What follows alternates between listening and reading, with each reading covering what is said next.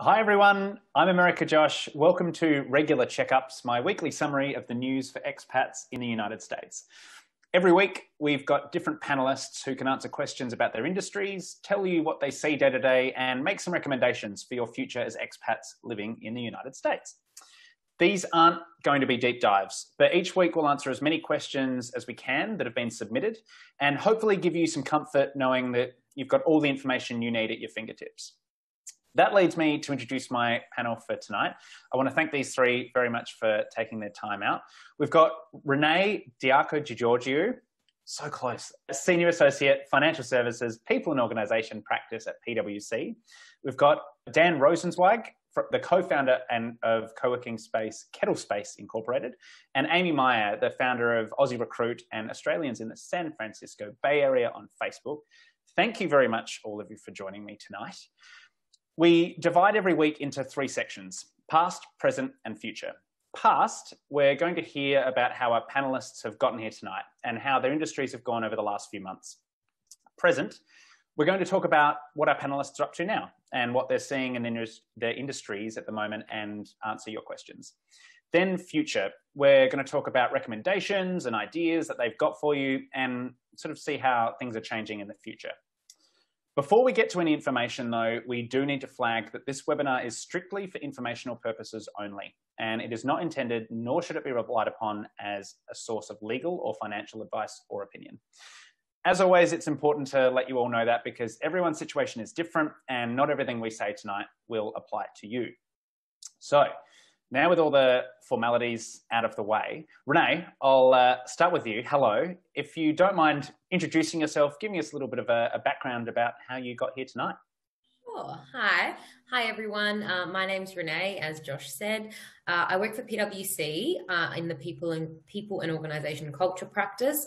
I've been in HR for around about 10 years now. Um, in Australia, I used to work for Westpac Bank and I'm from Adelaide. So I worked from, for SA Water and I've been uh, in New York now for just over four years. So I used to work uh, on Wall Street Deutsche Bank doing HR, and I've been with PwC now for two years.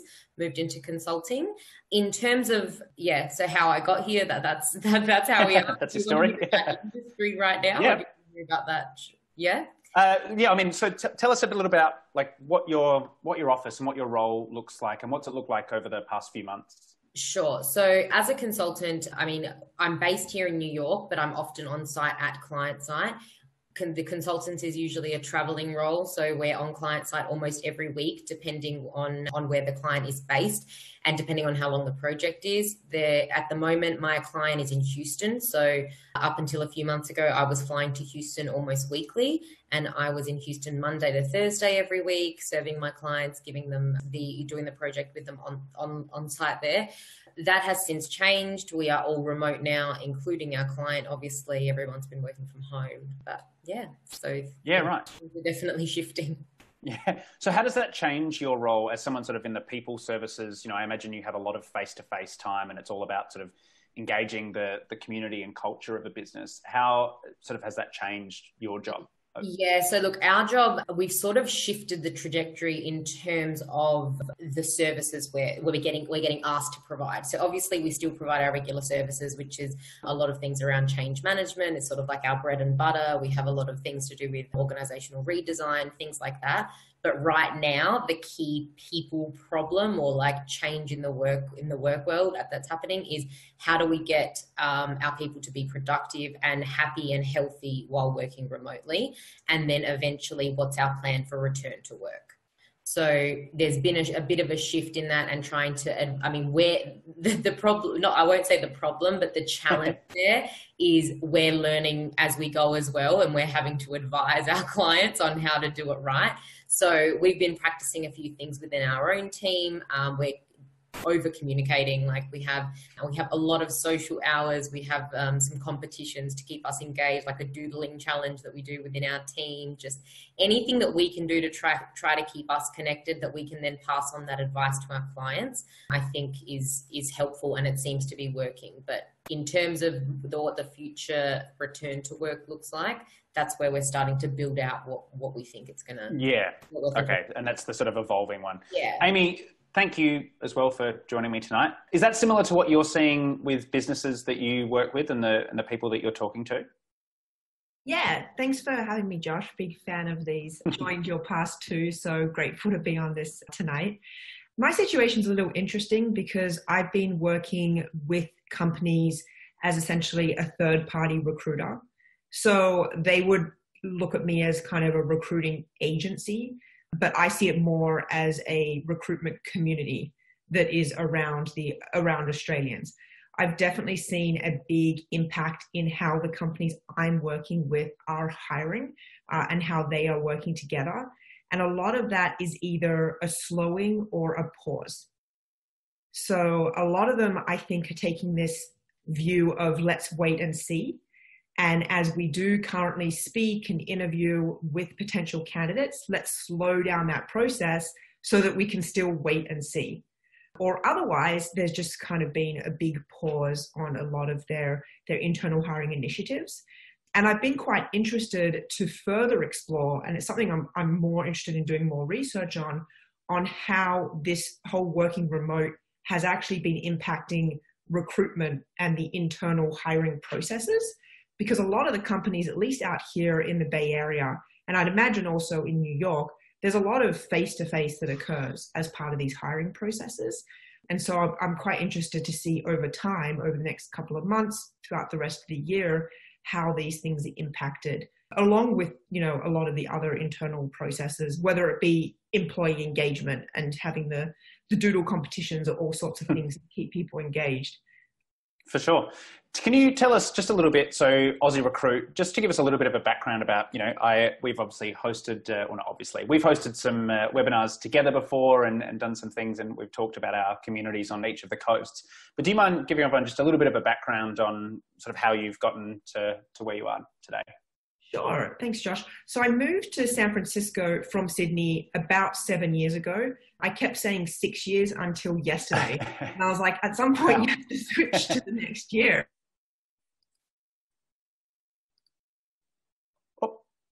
Did we? Can Amy, you're back. Oh, sorry. Yeah. Sorry. Right. I just got disconnected for a second. Um, okay. Yeah. If I have that issue again, I might just need to switch um, to a tethering. Yes. Yeah, so when I moved here, I started an Australians in San Francisco Facebook group because I didn't have any friends or family or support network here. And for a couple years, it was kind of just me, one or two other friends. But then it started really building momentum. And, you know, fast forward to last year, there's thousands of members. There's this really big expat community here. And I wanted to do something that was really meaningful and significant, both for me in my career, but also Australians out here. And I found from meeting, you know, over 100 Australians one on one that there was this really big issue with Australian professionals getting jobs out here. And I was just blown away. I was like, this is crazy. You're all super overqualified, have moved countries. You know, some of you are still. Oh, I might have to uh, jump to you, Dan. Uh, hello. Oops, sorry, Amy. We'll, we lost you a little bit. So I'll quickly jump to Dan. I met you, Dan, as a, a, brand new arrival in New York myself, and I joined KettleSpace, the co-working space that you co-founded. I imagine, you know, being a real estate and physically oriented business, that you know your your life has changed and your business has changed a fair bit over the last few months. Certainly has. First off, thanks for having me. I'm really excited to be here. Yeah. So for us, we offer co working space. It's uh, certainly unique. We partner with restaurants, hotels, retail spaces that are generally underutilized and help bring easy revenue to to those operators. And at the same time on the other side of that deliver the world's most affordable co-working product. So our members get access to all of the spaces that that we partner with which was 17 as of i guess nine weeks ago. Um, hard to believe that it's been that long. So yeah I, it's been tough. We offer people space and we currently can't do that. So we paused our entire communities memberships. So we obviously from a business standpoint, in theory, it people might frown upon that. We did it because we knew it was the right move and we got over time, we got our investors behind us knowing that this isn't we're not here for to be a, you know, a I don't know, a, something we're not here for the short term. We're here for the long term. And so we had to do do right by by folks um, as best we could. No, and I think it's important. We're seeing that in a lot of these catch ups, we're hearing from businesses saying, you know, it's better about, and sort of why I wanted to bring you three together. It's about the people, it's about the the parts of the business that are important, and the community members to make sure you take care of them in the short term, so that long term you actually have, you know, business prospects. And completely. So, do you mind telling us a little bit of a background? You know, that's KettleSpace. What's uh, what's your? How did you get get here and, and how did I get here? Yeah.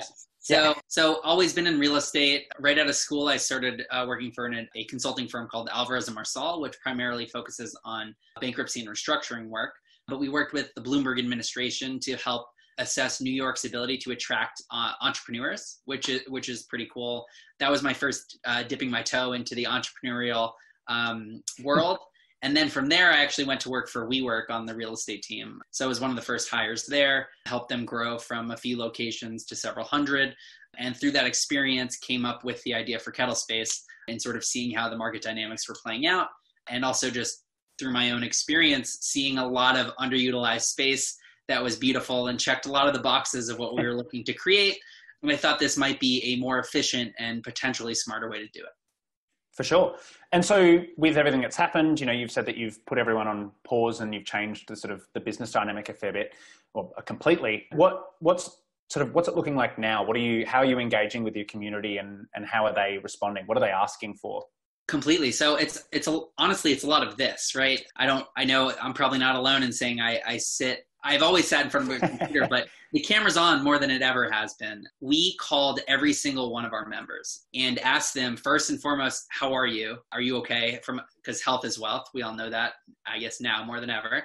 But then how can we help? What in what way, what are what's ailing you most other than if it's health? And a lot of folks were saying, you know, a lot of our community is made up of, of freelancers and consultants and they were saying uh, my pipeline has dried up and the scope of work of what i'm focused on right now for a lot of my existing clients has has, has been reduced. So we immediately went to work on different ways that we could bring more more revenue to our, our user base. And so we created an offer ask system where members who are working on certain projects and have needs. If I'm a web developer and I need someone to help me with copywriting or marketing or something like that, they can post that ask. And we have a pretty talented community, and folks are very, very eager to help one another. So we've really been focused on helping people make more money. And then on the flip side, we've gone out and negotiated with, I want to say, over a hundred um, different company services businesses that were in in the stacks or in the tech tech stacks of of the businesses yep that work in our community.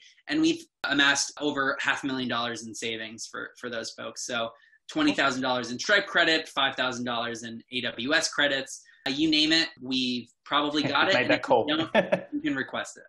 Yeah, awesome. So, just out of interest, how does it work with, you know, there are obviously some other, you know, it's no big secret to uh, say there are other co working spaces. Is that something that you have a community with? Like, do you speak to other leaders in the, the co working space and workplace space, or is that? Yeah sorry yeah uh, we're, we're all in this together at the end of the day. I mean we are we're a prop tech company but we, we're in real estate. So i try and stay in touch with folks from all over the uh, real estate ecosystem.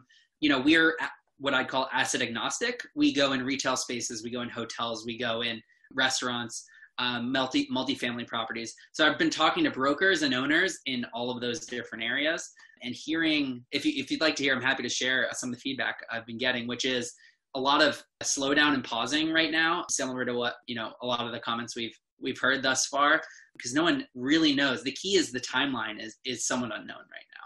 We're starting to see some best practices come out though. So, for example, McDonald's just came out with their reopening policies. A lot of focus around social distancing, sanitation, and really focusing on making sure that people who are on site are going to leave as they came, which is hopefully healthy. No, awesome. I mean, it's good. At least something good can come out of uh, a whole bunch of people being locked down and having some time to think. Amy, I'll jump back to you. So you were just saying, so you've got started sort of thinking about this idea that Australians don't have the opportunity to properly advertise themselves. Basically, I'll I'll throw it back to you. And you were sort of in the early stages of Aussie Recruit. Thank you. Starting appreciate that, Josh. Sorry about that. And Not Dan, it sounds like you're doing some really amazing work and saving those businesses a lot of money. So um, that's really awesome. Just running my own small business, I, I know how much those cost savings can really mean during a time like this. A great work. yeah, so I realized that Australians just weren't really getting a fair opportunity throughout hiring processes because of that little box that we need to tick about needing sponsorship. And so that's really how Aussie Recruit came into formation. And I essentially just started meeting with more and more companies and pitching Australian talent. That evolved into monthly meetups for the Australian community out here, looking at job seekers essentially attending these meetups to expand their own professional networks because that's really my number one piece of advice to anyone both pre coronavirus and also now is expanding your professional network is always going to be key to landing those new jobs so I was thinking, how can I help all of these people to help each other, but also to meet with the companies that I'm recruiting for face to face instead of through a resume. And that's what's going to be really interesting now, as I was mentioning earlier on, as hiring processes start to change, as we rely more on video conferencing, it can be really difficult to have those face to face interactions and to, you know, just f- see how you feel in the work environment or see how you kind of get along with certain people uh, that will be really interesting to see to see how that changes over time because we're going to have to rely on that more and more. For sure, Renee, is that sort of the same for you for what you're saying? You know, it, it really is educating people on how that they how they can engage with community and what they can do moving forward. And what are what are people asking you? What are the questions that you're seeing sort of yeah. coming to? Yeah, Josh, that's a great question. And um, Amy, hearing what you do, you, you, would have been so helpful to have someone when I first moved to New York. Let me tell you, because that's truly the purpose of your business. So you can speak to as many recruiters as you want, but having so having an Aussie to uh, sort of go in and back for you is a is a great thing. Yeah. So some of the questions we're getting are definitely around how to keep people engaged, how what things are going to look like moving forward, how can we keep how can we offer people balance? So does everyone have to come into back into the office? So I know Twitter yesterday announced that if you don't want to go back to the office, you never have to ever. we'll see who we, we'll see who follows next. I imagine it'll be a lot of the big tech companies might might follow suit. The other things we're hearing are really around wellness. So how can I make sure my people are not just healthy but also mentally healthy, emotionally healthy? Like this has been such a huge challenge for everyone and as humans we're social people, right? we depend we rely on community we rely on social interaction a lot of people that live on their own haven't even like had physical touch with someone in you know we're going on 10 weeks now and you just don't realize the toll that takes on someone emotionally and psychologically especially when day to day they're probably on autopilot you know getting back to their computer doing their work and then going to sleep and sort of wake up repeat. So there's it's a lot around wellness and a lot around what they can do what they can do to sort of yeah manage that. So we've at pwc for example we have access to they gave us the nike app for free so that we can exercise to keep us healthy. We have the Calm app as well they've given us to sort of keep our be able to meditate and be able to have that have that available. Yeah, j- just little things like that that we are then sort of seeing how it works within our own organization and then able to further advise how expand and recommend. Yeah, exactly. But yeah, I mean they they are the key questions and also just around location. So we do lots of work around location strategy that's usually based on where do I need to go to get the right talent? Like where is the right talent for the type of business that I have?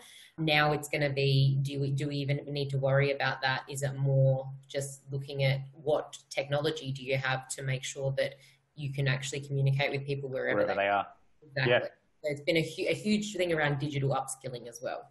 So yeah, for sure. I've I've taught a lot of people how to Zoom in the uh, yeah. the last the last few months. Yeah. Amy, is that is that we were talking about Twitter a little bit? Is that what you're seeing, sort of as a general thing? You know, there's a, a real shift towards this idea of accepting, you know, work from home or expanding where they're looking for. Well, are people, are companies looking? I guess would be the the question more broadly.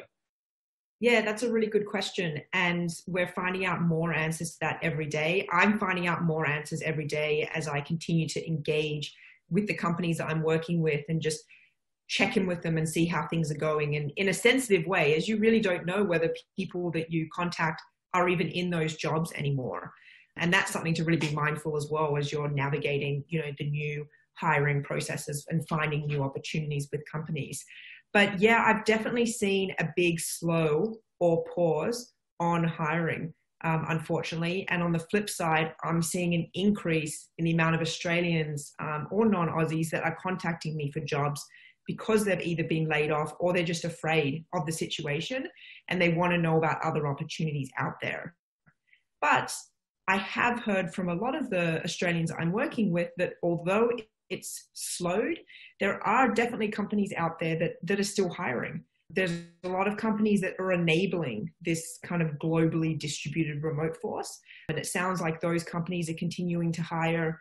And then a number of the startups that I work with, who I wouldn't have necessarily picked for ones to be, you know, companies still hiring, but they did just, you know, raise rounds of funding. They do have a pretty good run rate and they are in a position where they can continue to make those hires but yeah, it is in a much more slow, measured way, it does seem at the moment. Yeah, okay. Because I'm seeing a sort of similar thing. I, have actually seen a spike in the amount of people visiting America Josh and asking questions of me of, you know, I, I want to move over and I've still got this dream. You know, what what do you think? What are you telling people in terms of a path forward? You were saying, you know, you, are having a, an increase of people applying or looking for jobs, and not well, sort of the inverse happening for the the jobs being available. There are different opportunities, but they're getting less at the moment. They're, they're lower at the moment. What are you telling people as an outlook? You know, are you giving a timeline? Are you saying, you know, just come back in six months? I, I have no idea, or yeah, yeah. So for a lot of Australians, one of the big challenges is the visa so they either need a new visa or they're in Australia and they're waiting for embassies to open up. And so what I've I've been doing is just actually hosting regular monthly or bi-weekly updates for the Aussie recruit community to keep people updated on what, what's going on with the visas because things are actually changing all the time. And from our session last night, it sounded like the consulates abroad may open as soon as June 8th. I mean, definitely kind of keep checking on the embassy websites for information. But that's what the information that we got last night from our immigration attorney. So my advice is to kind of just make sure that you're you're checking these sites, that you're staying up to date with the information.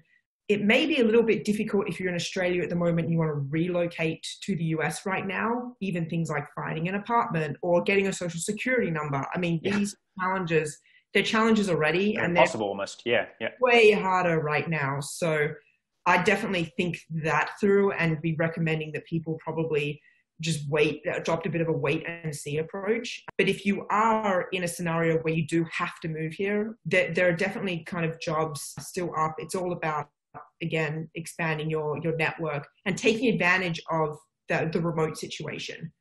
Everyone is remote already right now.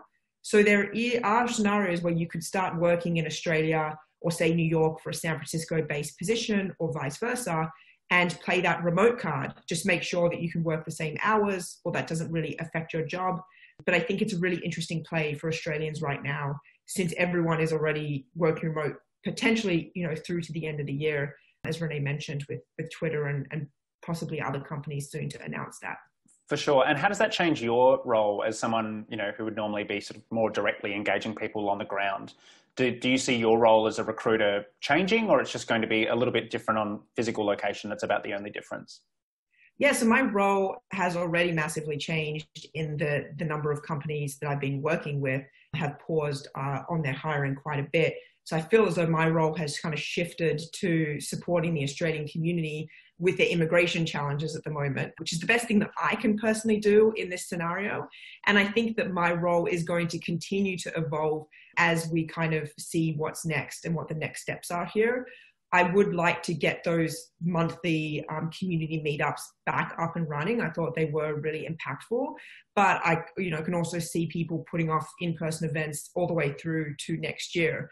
So yeah, yeah. I have to take a bit of a long-term approach here and just say, look, I'd like to get it back up and running, but in the meantime, it's going to be about creating virtual resources for people and doing my best to help connect Australians looking for jobs with companies that are hiring.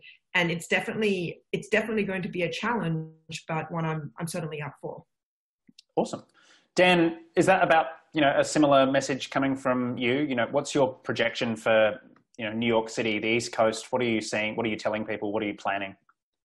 in in terms of space or in terms of jobs or a little bit of both well I, I, guess in terms of space to start so what are you sort of seeing do you have any projections for you know the city returning to normal i realize it's a real crystal ball kind of moment but we're yeah. uh, we're pretending like we all know something more than everyone else yeah uh, it's tough to say in terms of uh, specifics what I would say is I I think there it's probably going to reopen on a limited basis with some uh, serious restrictions one of the biggest challenges I'm seeing in, in uh, commercial real estate, especially in office right now, is getting in and out out of buildings. One of the most amazing things about New York is how dense and how dense we are and how tall we can build.